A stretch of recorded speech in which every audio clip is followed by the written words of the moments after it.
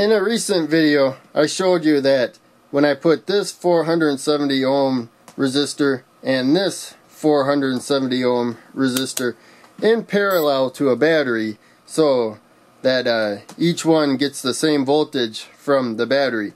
This resistor did not get as hot as that resistor. They're both 470 ohms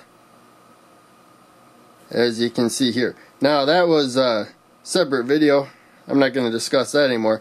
Now I'm going to move on to another topic. Right now these resistors are in series. This one's connected to positive, comes here, and then it connects to this other one. So this other resistor now is only 100 ohms, just slightly off, but it's well within tolerance. So right now we have 570 ohms going through there. And the point of this video is going to be to show you the heat generated by these two resistors in this situation.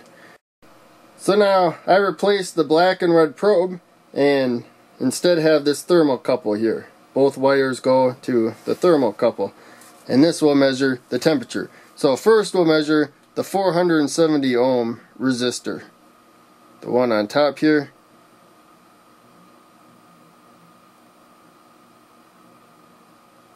And uh, room temperature was slightly above uh, 70 degrees. And this resistor appears to be a little bit more than 120. We don't have to be terribly exact. Now I'll go to the other resistor. Temperature is going down because this resistor is not as hot. It'll take a little bit to stabilize.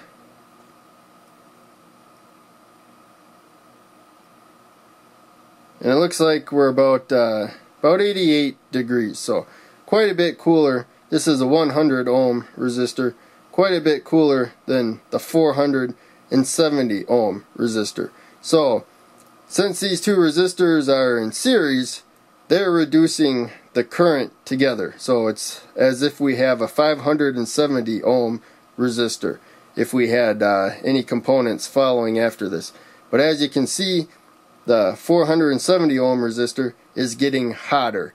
And that's the way this works. The components with more resistance get hotter. They're the ones that really take the voltage and uh, lower the amount of current that uh, the battery's providing. And in the process, they get hot. So the more resistance, the more current reduction, the hotter it gets. And that's why a lot of components don't even have uh, a voltage wattage rating that you generally hear about. That's because it's expected that you have a resistor which has a lot more resistance, you know, since uh, they're rated for current, use a resistor to set that current, and the resistor has more resistance than that component, and so the resistor is getting hot, whereas the other component is not getting as hot.